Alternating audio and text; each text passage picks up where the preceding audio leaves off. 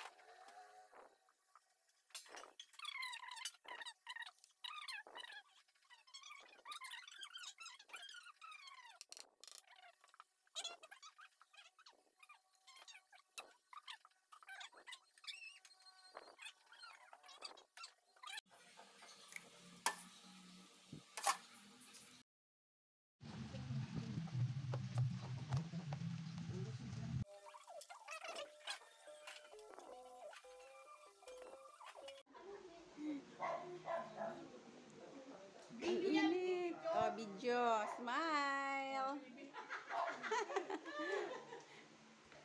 Yan ang bisita. Mag-request talaga. Yung iba ayaw, ayaw nang pinipicturan eh. Kaya minsan hindi ako basta-basta tinag-aano hanggat hindi nagsasabi. Kasi yung iba ayaw.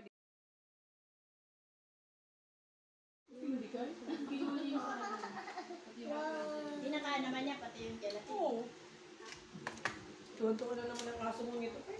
Kaya nga, te. Wala ka aso, te? Wala kayong aso? Suser, suser Meron? yung aso ko. Bakit?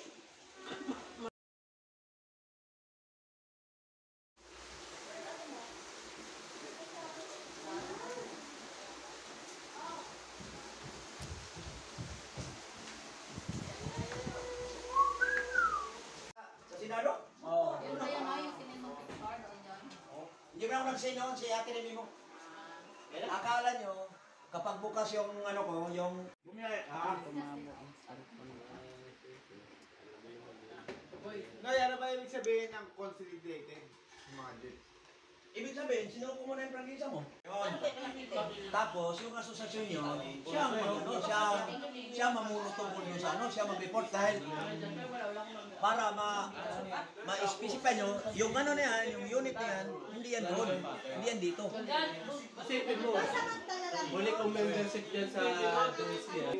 Pumapatong na sa likod ni LJ na. Kuha